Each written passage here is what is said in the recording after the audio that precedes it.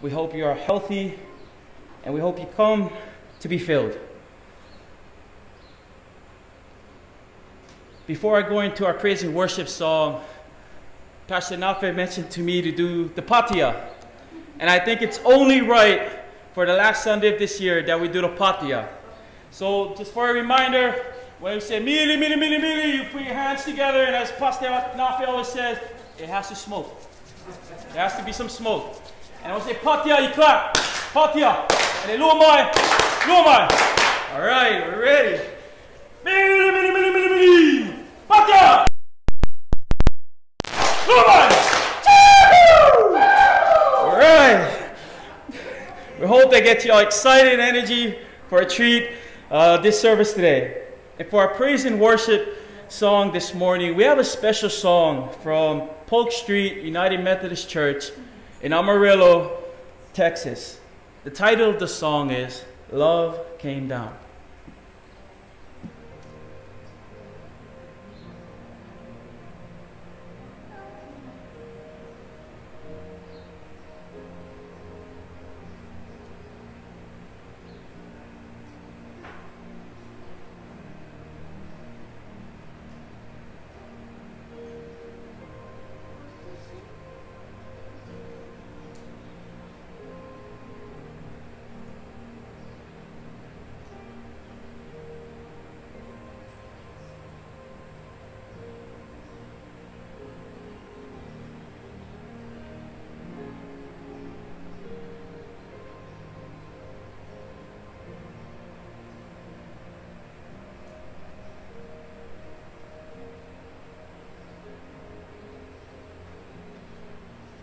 Welcome home, welcome back, and welcome. To our Ohana friends and visitors, as we continue to follow the safety guidelines, we ask that you follow the order of worship on the screen in front of you. And now for announcements. A friendly reminder to all who attend service that, in line with our approved church reopen plan, we're always required to wear masks and we are to refrain from singing until further notice. You may wish to hum along to the hymns that appear as the lyrics will still appear on the screen. At the entrance, there is a table with tithing envelopes and a box next to it. Should you wish to give, please put your tithes, gifts, and offerings in this box. Our options of giving online or sending checks to our post office box are also still available. There will, there will be no New Year's Eve night watch service.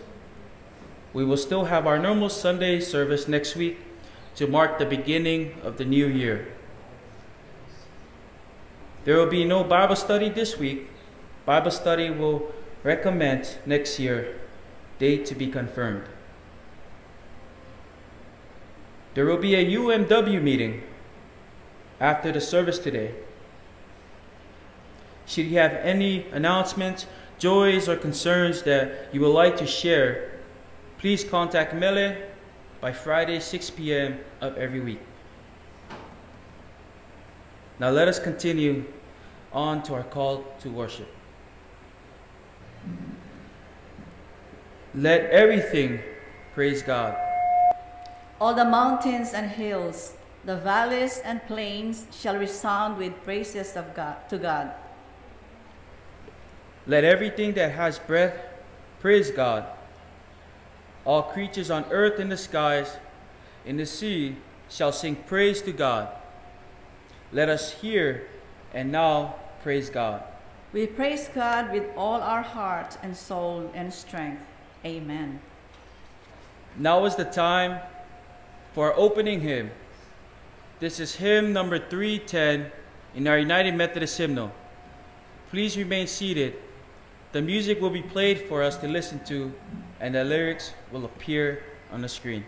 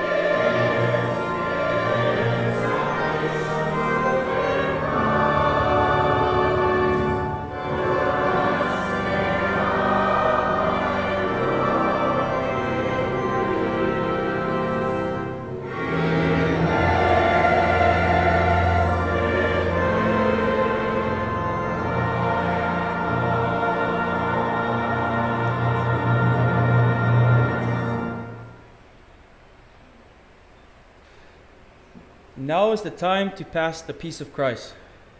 As we continue to observe the safety guidelines, please remain where you are and shaka or air hug to your neighbors.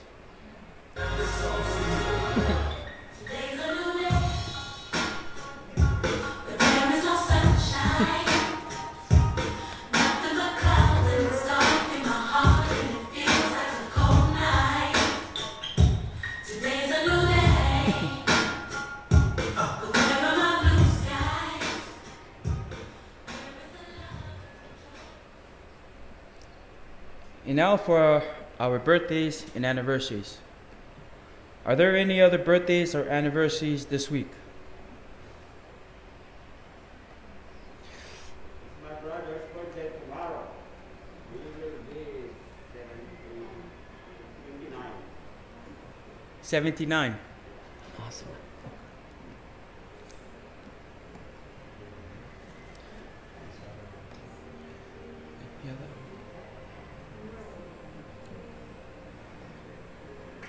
We wish everyone celebrating a birthday and anniversary this week a happy birthday with many more blessed and joyous years to come. Can we get a birthday tune to celebrate these birthdays?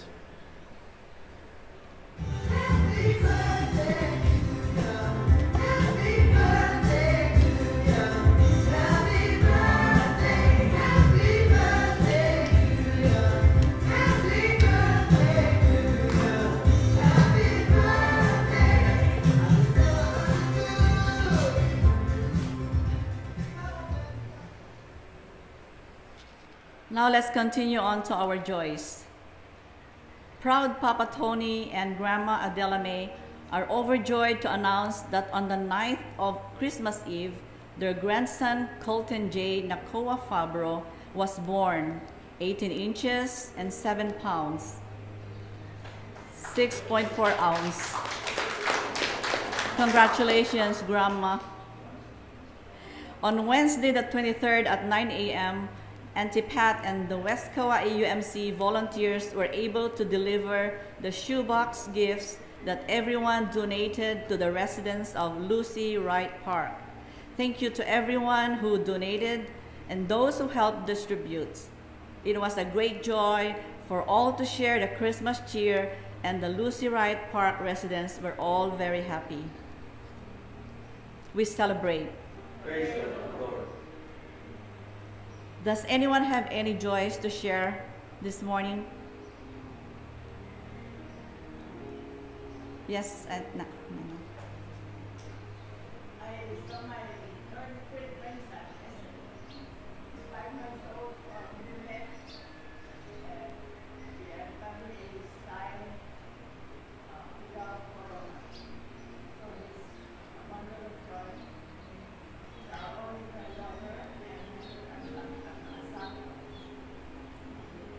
Congratulations. We celebrate.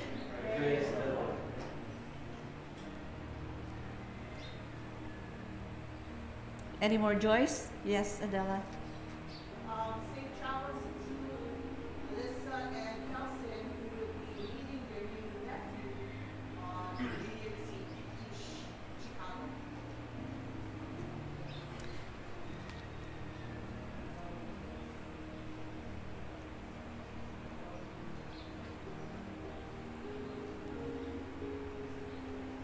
We celebrate. Praise the Lord.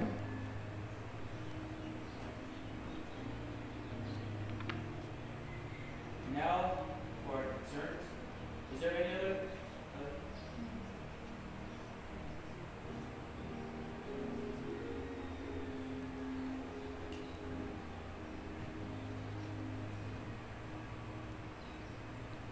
I have a concern. Please pray for uh, my family back then in the Philippines. Uh, we lost my niece on Sunday, and um, please pray for comfort that they will find a comfort for God's love. Her name is Esther Galeon. Lord, in your mercy. Hear our prayers.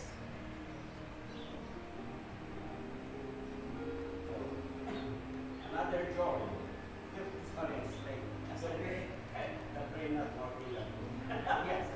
Um, Today is my daughter's first day or moving in day to their new house in Milwaukee, Washington. Ray's daughter is moving into their new house. We celebrate.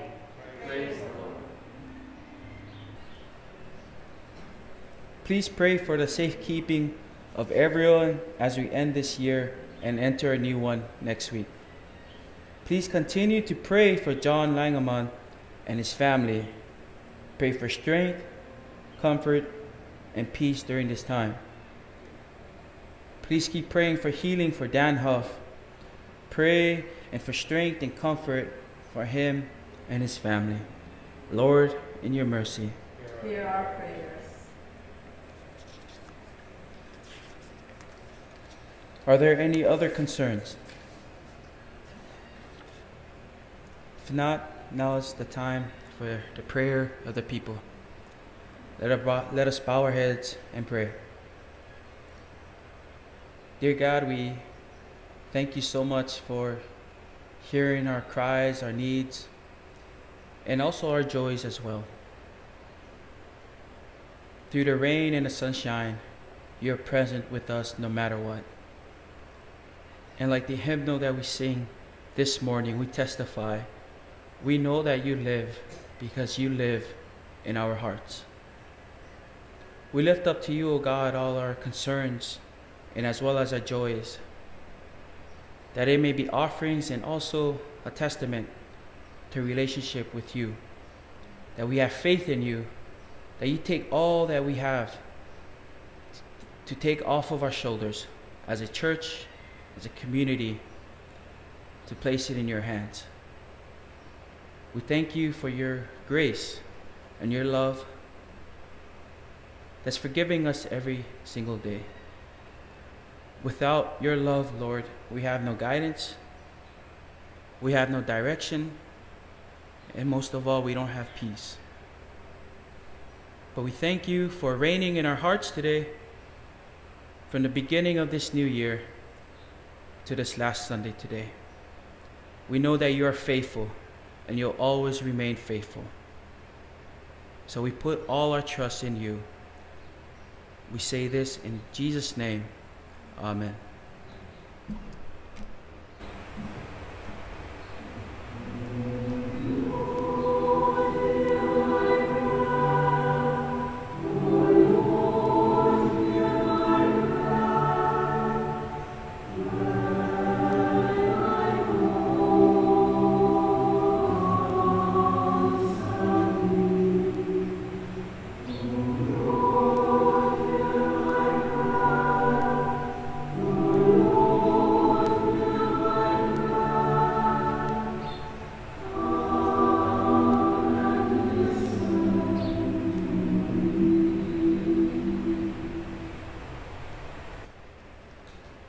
first lesson today is from Psalm 148, found on the page 861 in the United Methodist Hymnal. This will be read responsively. Praise the Lord. Praise the Lord from the heavens. Praise the Lord in the heights. Praise the Lord, all his angels. Praise the Lord, all his hosts. Praise the Lord, sun and moon. Praise the Lord, all shining stars. Praise the Lord, highest heavens, and all waters above the heavens.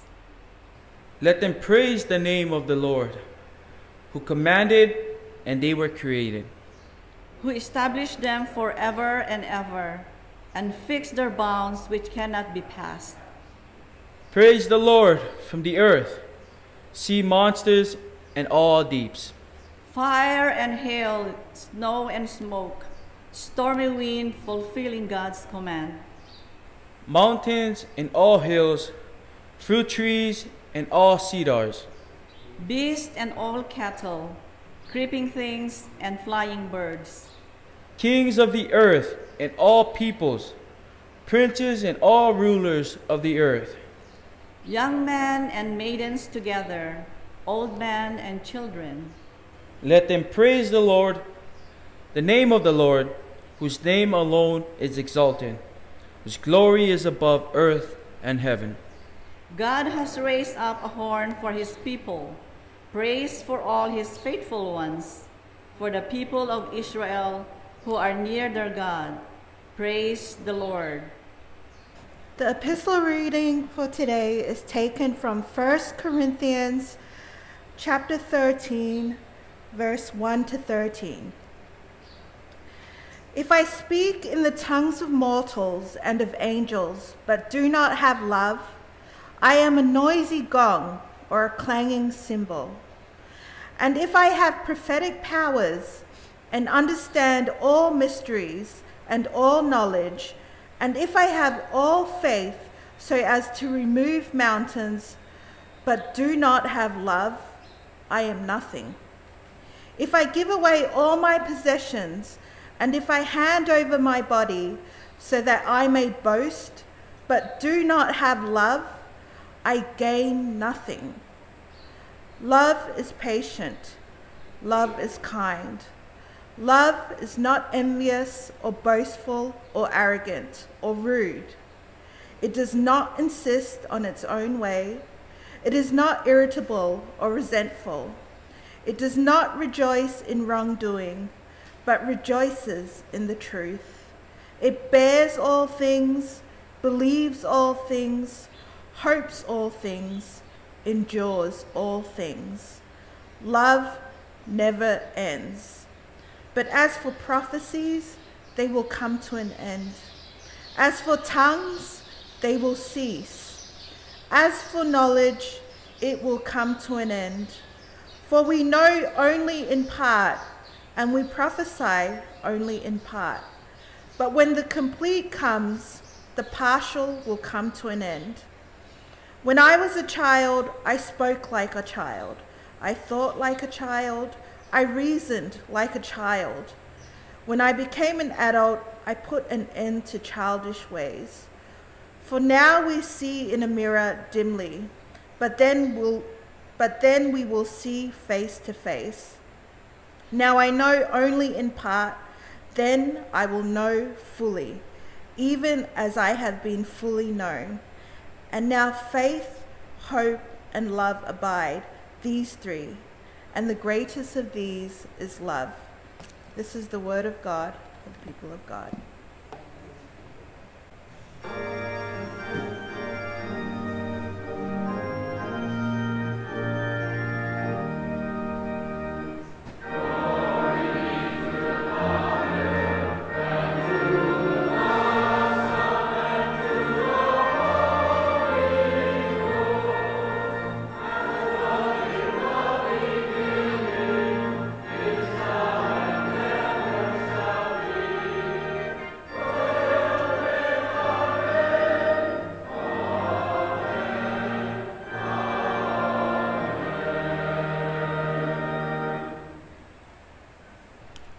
God is good all the time.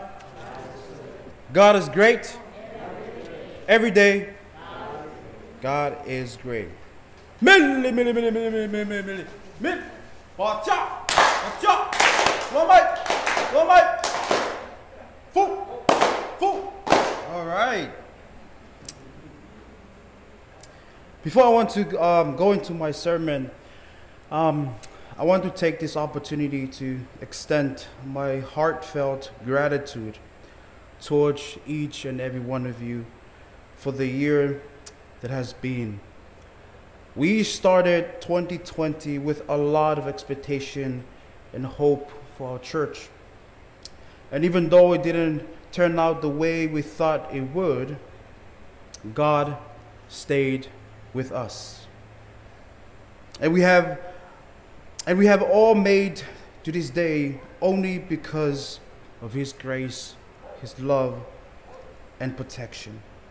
And my heart is full in the knowledge that every single person here and online stayed faithful to God's calling in their life and throughout the many, many storms that we had faced in 2020. Mel and I are very, very grateful for each and every one of you. The ministry is alive and growing because of all of you. And the beautiful body of Christ. We're able to serve God and win hearts for Him and extend His kingdom in this earth only because of you. There's a Tongan saying that that says, "Fonuape tangata." It means a village is not a village without its people. A soil is a land without its people. It's not a country. And the church is not a church without the body of Christ. And that is all of you. So thank you. At Sunday school, they were teaching how God created everything, including human beings. Little Johnny, a child in the class, seemed especially interested when they told him how Eve was created out of one of Adam's ribs. Later in the week, his mother noticed him lying down as though he were sick. And the mother said, Johnny, what's the matter? Johnny said, I don't feel well, mommy. I think I'm having a wife.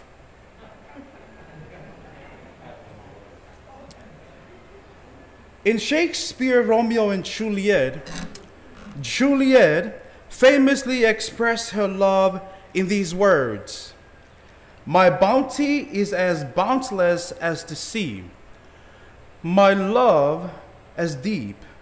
The more I give to thee, the more I have, for both are infinite.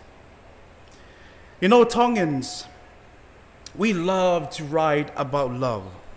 Like Juliet, Tongans often use metaphors from the ocean, from the farm, to express their love. In fact, when I was dating Mele, I used to read this uh, to Mele these Tongan love poems, and uh, basically using the oceans and uh, to describe how deep my love is, like the ocean. But now Mele, we're married now, and she's pregnant. I tried to read it to her again, and she said, "Yeah, yeah, whatever. Just come massage my feet." You know, Juliet does an interesting thing here. After she likens her love to the ocean, she goes on to say that it is boundless and infinite. Well, there's a problem with this claim because we know as islanders that the ocean is not boundless and is not infinite. It's incredibly deep, as we know. However, this claim does not re- does reveals an interesting concept of this thing that we call love. You know, Ohana, we as human beings have a really interesting history about our ideas of what love is. If we look back to human history, we have writers, poets, musicians, artists of all kinds expressing their understanding of what love is about through their books, poems, songs, paintings, etc. From the great poet and playwright Shakespeare to your favorite musical artist today. Everyone in between and probably the years to come. One thing they have in common is that when they write and sing about love, the most don't often refer to the nature of love qualitatively, the quality of love, but more so the quantity of love. Like, who do we love? Why do we love? Where is love? How we need to receive and give more love. How is love is the most important thing in this life. And these are all quantitative questions.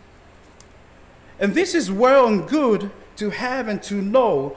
But the problem with this is that the thought of love quantitatively has become so popular that we don't often and rarely step back and think about the quality of love. Thankfully, 1500 years before Shakespeare and the famous love story of Romeo and Juliet, and all the famous singers, writers, and poets who wrote about love, there was another great writer and a philosophical thinker who happened to be a disciple and an apostle of Jesus. His name is Paul. He wrote about the nature of the quality of love, not the quantity of love. In 1 Corinthians chapter 13 verse 4 to 8, Paul writes, "The love is patient. Love is kind. It does not envy. It does not boast. It is not proud. It does not dishonor others. It is not easily angered.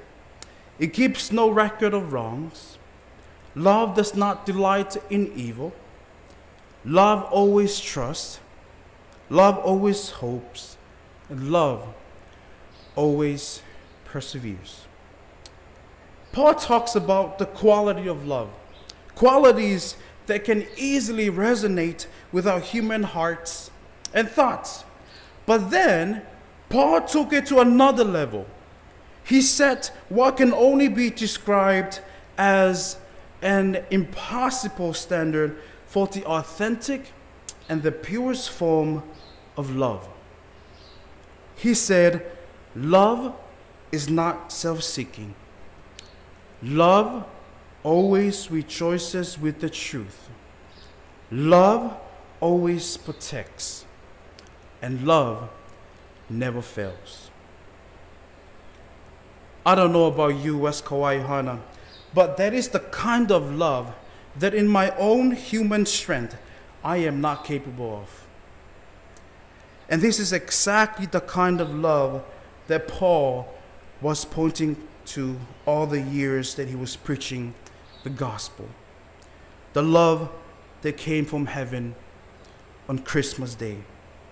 When God came into the world in love, he demonstrated and exemplified love in its purest form sacrificial love, selfish love, love that looks to protect. He came down in love, not for his sake, but for our sake. And he did that in the most humblest way, born in a manger, died on a cross like a criminal. And these verses are verses that a lot of people refer to as the love letter.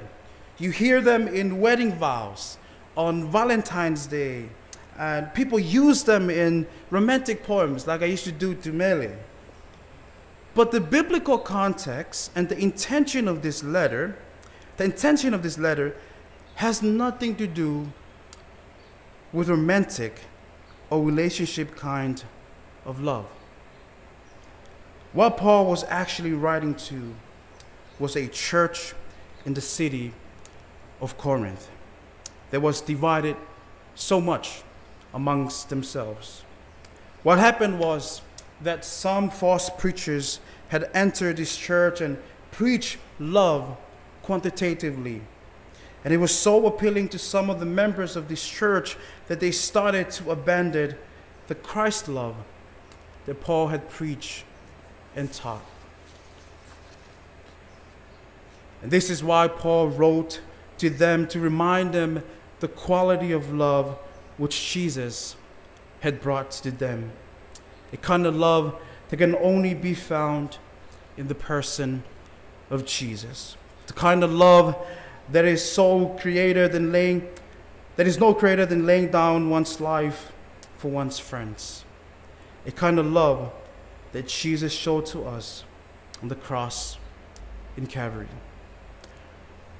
West Kauai Ohana, as you prepare to say goodbye to the year that was and welcome the new year of 2021.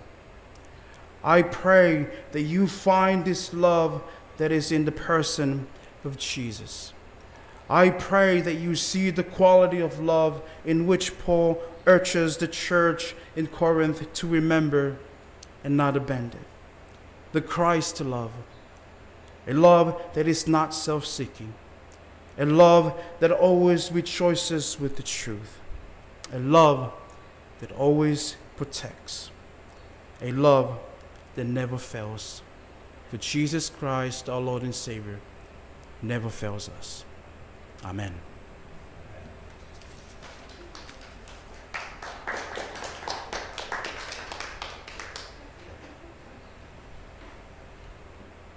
Now is the time for our closing hymn. This is hymn number 384 in our United Methodist hymnal. Please remain seated. The music will be played for us to listen to, and the lyrics will appear on the screen.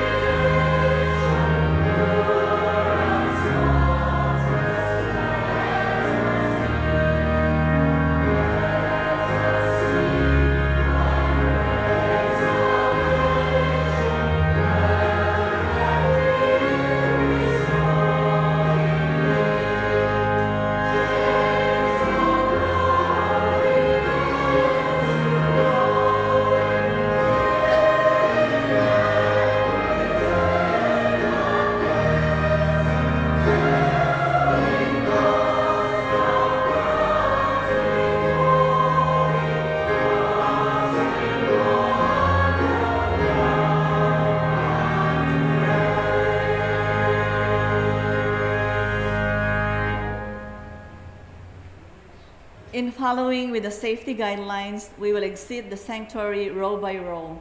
Please wait for the ushers to let you know when you can leave. And on your way out, please wave to the camera to say hello to our Ohana tuning in from home. Mahalo. West Kauai Ohana? May you go forth in peace, in the grace, the hope of our Lord Jesus Christ. As you journey to the new year, 2021, may you journey with the divine love of our Lord Jesus Christ. Amen.